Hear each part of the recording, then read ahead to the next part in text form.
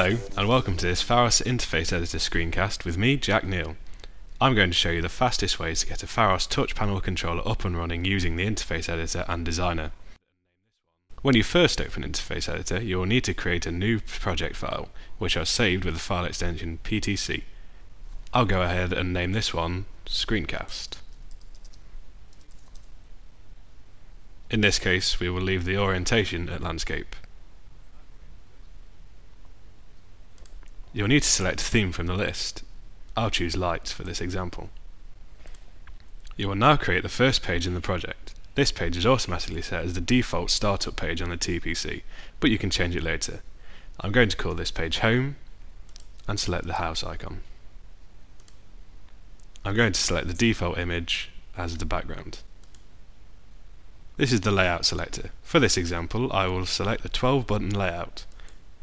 Note that once the page has been created, you cannot change the layout.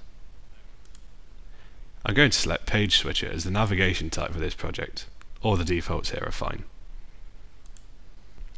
And there we have it, a page ready to go on our TPC. I'm quickly going to add another page to this project by clicking on the New Page button. I'm going to call this page Colour Picker and select this icon. I'm going to leave the background image default. Use this layout.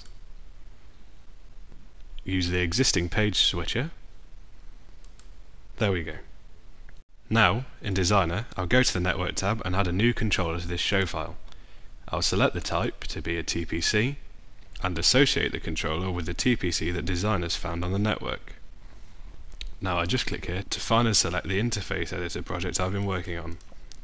Once I have found it, all I need to do now is upload to the controller by clicking upload, then upload all.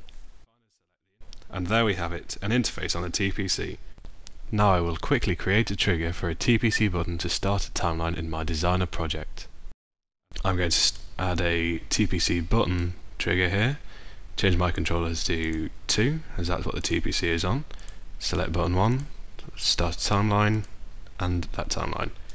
Upload again, and there we are. Have a look at the Pharos Interface Editor and Pharos Designer help for more details. Thanks for watching.